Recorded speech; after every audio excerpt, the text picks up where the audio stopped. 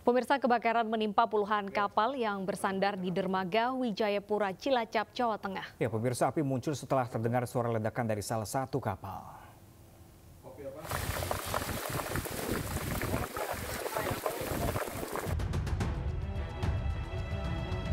Sebanyak 45 kapal nelayan dilap api dalam peristiwa kebakaran di dermaga Batere dan dermaga Wijayapura, Kabupaten Cilacap, Jawa Tengah. Hingga tadi malam pukul 23.45, upaya pemadaman masih berlangsung. Sejumlah mobil pemadam kebakaran dari Pemkot Cilacap Pelindo berusaha memadamkan api. Polisi melakukan pengamanan dengan mensterilkan area kebakaran dari warga agar pemadaman berjalan tanpa hambatan. PT Kilang Pertamina International Refinery Unit 4 Cilacap turut menggerakkan tim pemadam dengan total personel 15 petugas dilibatkan. Untuk sumbernya, hmm. kami sih saya tanyakan itu eh, montir perbaikan perbaikan dinamo lampu. Hmm. Kemungkinan besar itu ada konsleting dari lampu tersebut. Lampu tersebut saja yang kami tahu. Tadi posisi di mana kapal? Uh, posisi di tengah. agak di tengah karena itu angin besar begitu ini kan kapal sekarang pakainya biber hmm. ya begitu nyala ya terus cepat sekali hmm. sampai saat ini kira-kira sudah berapa kapal yang kebakar kalau nominal kapalnya kami sendiri mungkin hampir hampir 50 40 sampai 50 kapal 40 sampai 50 ya. ya. Kebakaran pertama kali terjadi pada salah satu kapal yang sedang bersandar di dermaga Batere pada selasa sore pukul 17 lewat 10 waktu Indonesia bagian Barat. Tidak lama, kobaran api merambat ke kapal-kapal lain yang sedang bersandar. Bahkan kebakaran meluas hingga dermaga Wijayapura. Dari Cilacap, Jawa Tengah, Heri Susanto, iNews melaporkan. Ya, pemirsa kerap berpura-pura sebagai polisi lalu lintas dan memeras pengendara motor, seorang pria diamankan polisi. Barang bukti belasan STNK dan SIM juga turut diamankan.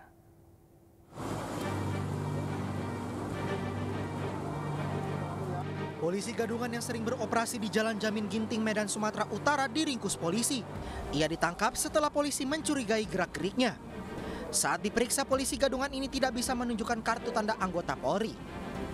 Pelaku telah satu tahun beroperasi menjadi polisi gadungan dan memeras pengendara motor. Kita ada mengamankan seorang laki-laki yang pertamanya mengaku anggota Polri. Ternyata setelah dilakukan pengecekan, ternyata bukan merupakan anggota Polri. Kami masih mendalami apa motif daripada si pelaku tersebut karena e, banyak dia membawa STNK, kemudian barang-barang selain daripada e, yang dia miliki. Selain mengamankan pelaku, petugas juga mengamankan sejumlah barang bukti di antaranya belasan STNK kendaraan, SIM, handy talkie, dan borgol. Kasus ini kini ditangani Polsek Deli Tua Medan, Sumatera Utara. Dari Medan, Sumatera Utara, Ahmad Ridwan Nasution, iNews melaporkan. Seorang ibu rumah tangga di Palangkaraya, Kalimantan Tengah dilaporkan keluarganya menghilang sejak minggu lalu. Pencarian dilakukan di sekitar Sungai Kahayan, tempat terakhir sepeda motor korban ditemukan. Hingga kini pencarian pun masih dilakukan.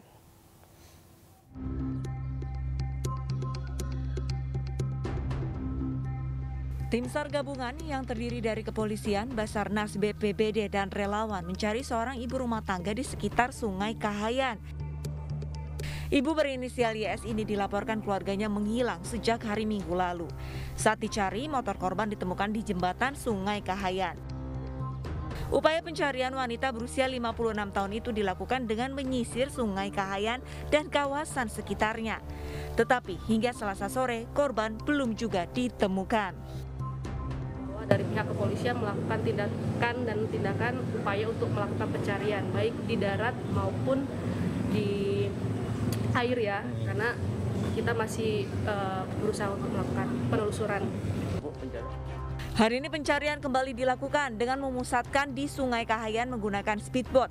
Tim SAR juga mendirikan posko gabungan untuk mendukung pencarian. Dari Palangkaraya, Kalimantan Tengah, Adesata, Ainis melaporkan.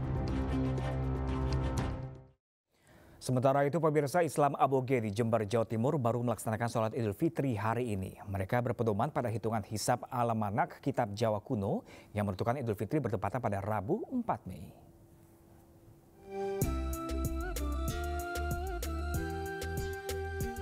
Puluhan jamaah Islam Aboge di Desa Kraton, Kecamatan Kencong, Jember pagi tadi menjalani salat Idul Fitri 1443 Hijriah di Masjid Ireng. Meski pemerintah telah menetapkan Idul Fitri jatuh pada tanggal 2 Mei lalu, namun Islam Aboge baru menjalankan sholat Idul Fitri pada pagi tadi. Penetapan lebaran pada 4 Mei ini berdasarkan hitungan almanak Kitab Jawa Kuno atau Mujaroba. Hisab itu di almanak itu kan ada ya dibilang orang Jawa aboge lah gitu, kan gitu. jadi yang jelas almanak itu kan termasuk tanggal internasional bukan hanya di Jawa aja bahkan Belanda pun ikut punya suatu misal itu Meski berbeda dengan umat Islam lainnya, kerukunan dan ukuah Islamiyah tetap terjalin. Setelah salat bersama di Masjid Ireng, warga menggelar kenduri dengan makan bersama. Dari Jember, Jawa Timur, Bambang Sugiarto, Ainis melaporkan. Pemirsa, sediakan waktu Anda yang ingin keliling Jakarta menggunakan bus wisata Transjakarta. Kali ini dalam rangka Hari Raya Idul Fitri, sebanyak dua bus wisata dari PT Transjakarta melayani rute wisata gratis. Kedua bis wisata ini efektif beroperasi mulai 3 hingga 8 Mei 2022, pukul 10 pagi sampai dengan pukul 9 malam.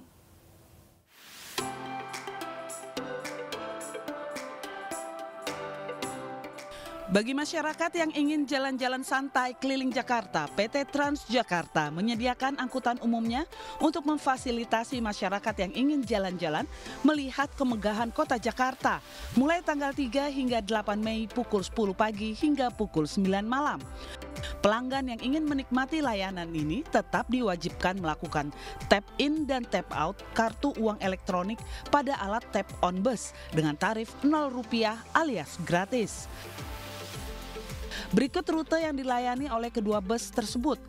Rute wisata BW2 atau Jakarta Baru, Irti, Balai Kota, Sarinah, Bundaran HI, Sarinah Menara Topas, Museum Nasional, Pecenongan, Pasar Baru, Juanda Masjid Istiqlal, Monas 1 dan Monas 2.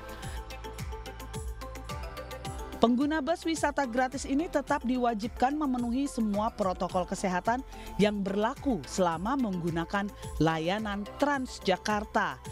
Tim Liputan iNews melaporkan. Kita pantau bersama bagaimana antusias masyarakat terhadap bus wisata ini bersama rekan Angelica DF. Selamat siang Angel, bagaimana antusias warga mengisi waktu hari liburnya? Ya, Data dan Pram senang sekali pada libur lebaran kali ini. Saya bisa bergabung dengan warga yang berada di DKI Jakarta untuk berkeliling di sekitar Jalan Protokol DKI Jakarta di kawasan Jakarta Pusat ini.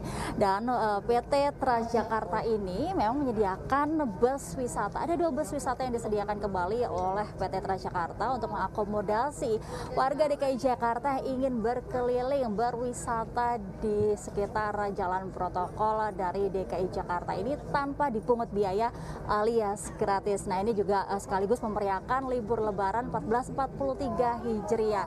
Nah bus wisata yang disediakan ini mulai beroperasi sejak tanggal 3 kemarin data dan juga Pram sejak sampai dengan tanggal 8 Mei yaitu selama seminggu ke depan dari pukul 10 pagi hingga pukul 9 malam. Nah ini menarik sekali warga DKI Jakarta yang ingin berwisata ini bisa melihat indahnya uh, kawasan Jakarta Pusat ini dari pagi pagi, siang, sore hingga gemerlapnya DKI Jakarta pada malam hari. Dan juga untuk uh, bus wisata ini uh, tadi saya sampaikan ada dua bus wisata melayani dua rute, yaitu rute Jakarta Baru atau BW2 dan juga rute Pencakar Langit atau BW4. Nah, kebetulan saya berada di rute Pencakar Langit yang mana tadi uh, saya menumpangi bus wisata ini dimulai dari halte Irti Monas hingga menuju ke kawasan Bundaran Senayan dan kembali lagi melewati melewati sejumlah halte seperti di halte Plaza Indonesia, halte Monas dan uh, akan kembali lagi di halte Irti Monas. Kemudian untuk rute uh, Jakarta Baru ini melewati halte Juanda Istiqlal sebagai start awal, kemudian halte Monas, uh, halte Irti Monas, Sarina 1, Wisma Nusantara hingga di halte Juanda Istiqlal. Nah, ada 79 kursi yang berada di bus wisata ini. Nah, ke 79 kursi ini hampir penuh dan ada sejumlah aturan yang memang harus ditaati oleh warga DKI Jakarta yang menumpangi bus wisata ini. Di antaranya adalah wajib menggunakan masker untuk menjaga protokol kesehatan karena kita masih pandemi dan juga uh, menjaga kebersihan seperti tidak makan dan minum di dalam bus wisata ini.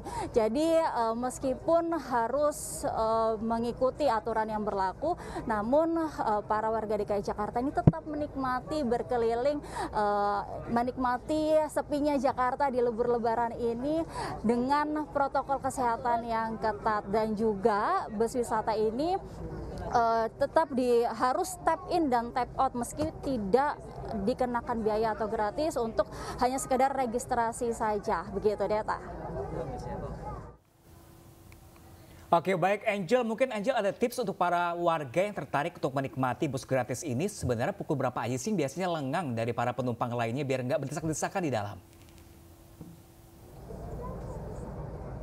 Iya, uh, Pram dan juga Reta, tadi saya memang sempat mengalami apa ya, uh, beramai begitu warga yang antusias dimulai dari halte start awal di mana halte IRT Monas sehingga banyak sekali rombongan dari uh, warga DKI Jakarta yang ingin atau antusias sekali menggunakan bus wisata ini. Namun jika Anda yang uh, ingin tidak uh, atau menghindari keramaian, Anda bisa uh, mengikuti atau menumpangi bus wisata ini di halte-halte di depannya seperti di halte Balai Kota atau mungkin agak ke depan sedikit di halte Sarina atau di uh, halte Karet yang mana memang uh, para penumpang ini uh, mungkin di antara dari mereka tidak full mengikuti dari halte halte RT Monas kembali di halte RT Monas lagi namun uh, beberapa di antara mereka ada yang berhenti di halte Karet misalnya untuk kemudian uh, berkunjung ke salah satu ikon baru Jakarta yaitu di Jembatan Pinisi. Nah, beberapa uh, halte ini memang uh, bus wisata ini berhenti sehingga banyak juga juga